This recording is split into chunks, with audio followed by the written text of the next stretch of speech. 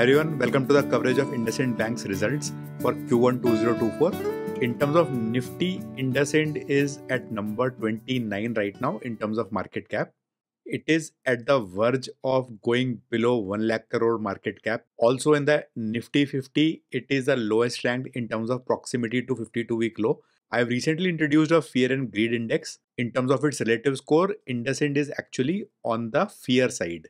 At the time of preparing this video, Axis Bank topped the fear list, followed by SBI, Tata Consumer, Bajaj Auto, ICICI, HDFC.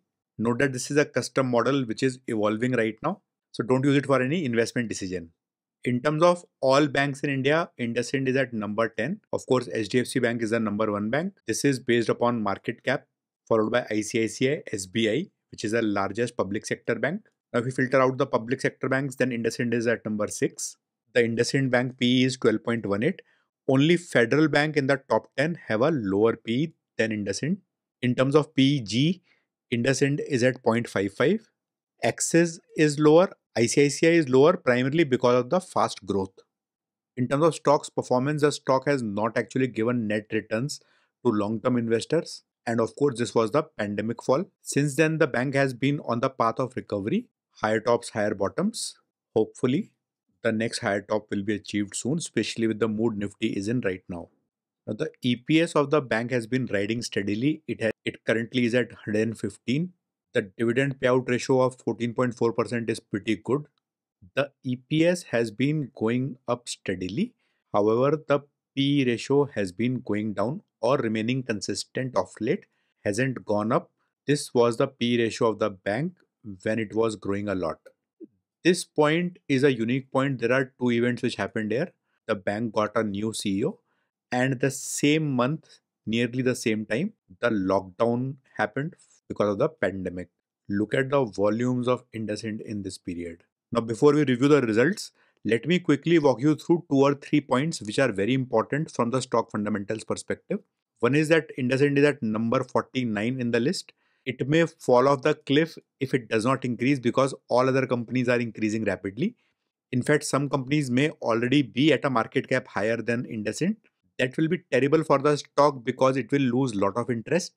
A lot of mutual funds, a lot of indices based upon which investing happens, all that will be sold off in the market and the stock will crash terribly. This is a very interesting analysis I'm working upon it is based upon willful defaulters declared by the companies, which is the banks. The list is sorted on willful default. AU Bank tops the list. This is more than market cap of most banks in this list. The next one is Axis Bank, 1 lakh crore. Bank of India, 70,000 crores. IndusInd Bank is here, 18,000 crores of willful defaults at a market cap of 1 lakh 7,000 crores. Now I've added the sales column here. The ratio of willful default to sales and willful default to market cap are very interesting. AU Bank has 1026%, which is nearly 10x of their sales as a default amount, and market cap wise, 252%. In case of IndusInd Bank, 37% default to sales ratio and 16.7% default to market cap ratio. Now, this ratio cannot be looked at in isolation because a lot of cleanup has happened. So, for example, if you look at SBI, the default to sales ratio is at 0.55% and 0.32% for the market cap. However, the gross NPA is at 2.25% and net NPA is at 0.5%. Net NPA is okay, but gross NPA wise, this number is pretty high still.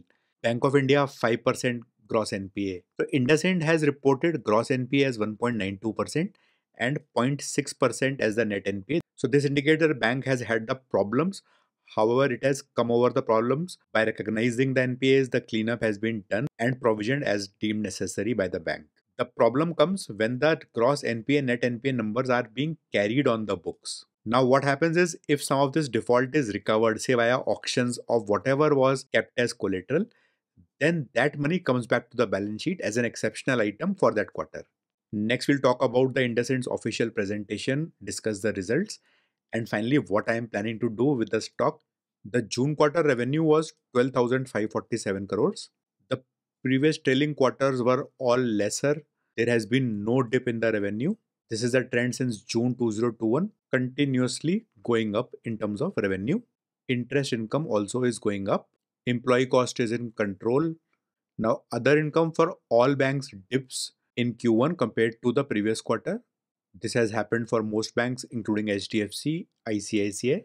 As a result, profit before tax obviously takes a dip. That tax number is at consistent 25%. So the bank is not playing around with the tax numbers to move net profit up or down. So net profit dip Q1Q is primarily because of the other income dip. Year on year basis, there is a minor uptick only. Similarly, year on year EPS, minor change only. Now, year on year, the gross NPA reported by the bank has gone up a little, about 0.1%. Net NPA also 0.58% has become 0.6%. So people who go too much micro into NPA numbers, they might not like this number. For June 2024, promoters very minor dip. The promoter here is the Hindujas group. FIIs have reduced their stake by slightly lesser than 2%. This has mostly been bought by DIIs and a little increase in the public shareholding. These patterns are exactly what I want to avoid, but the numbers in context are too low to influence a decision right now. I would watch the FIIs to be selling here. If this number changes and FII numbers dip say below 35%, then I would take it as a bad sign. The reason I say this is in the last year, November 15, 2023 is the news. IndusInd was included in the MSCI Global Index. Most stocks that were included with IndusInd have gone up significantly since then. Now, IndusInd got about $300 million worth of inflows as a part of this inclusion. This is mostly foreign money. If the index excludes it for performance reasons, then at least this amount and lot more which was invested earlier will certainly flow out. So that is why I was saying watch out for the FII numbers. This is the published result of the bank, provision other than tax and contingency. Q1 of previous year, it was 991 crore. In the previous quarter, it reduced to 950 crores. This quarter, this has gone up 1050 crores. So bank has provisioned already the numbers it expects to go bad. IndusInd publishes usually a very good PPT along with its results. One of the best things about the bank is that the overall bank's balance sheet is very well diversified. Corporate banking, consumer banking, nearly 50 50. In specific, microfinance share has gone down for most of the bank's life, vehicle finance has been the biggest business. The key highlights for the previous quarter, as per the bank, year on year, the loans grew by 15%, quarter on quarter, 1%. Deposits have increased 15% year on year, 4% quarter on quarter. The interest rates offered by IndusInd are pretty competitive on the higher side compared to HDFC, ICICI banks of the world. CASA, the annual growth is 6%, but the entire industry is right now suffering Term deposits grew 21% year on year, but 6% quarter on quarter. Now, this should be okay because the loan business is not growing at that, that space. In fact, the bank has probably more cash than what they need for the loans. The assets increased 14% year on year, 3% quarter on quarter. Similarly, NII or net interest income 11% year on year, 1% quarter on quarter. Other income I already mentioned, it was 10% year on year and minus 3% this quarter. Revenue 11%. Here it is literally unchanged. Operating profit down 3% compared to 3% up year on year. Net profit quarter on quarter down 8% compared to 2% year on year growth. NIM down very little. Return on assets 20 basis points down year on year, 20 basis points down quarter on quarter. If you look in isolation, this looks like the bank has not grown at all, or in fact, this is a negative quarter. But looking at the other banks' performance, how they have done in their results, this is not a fantastic quarter or good quarter for sure, but I would not call it a bad quarter either. This is the microfinance part which I was talking about. There is clearly a dip here. 1.3 crore customers in rural India. This is the CASA issue 40, 39, 38, 38, 37. If you are interested, then the complete NPA data is available here. So, first point the results are okay, not great, not too bad. Gift Nifty is indicating a 2% gap up. So IndusInd may enjoy that right tomorrow.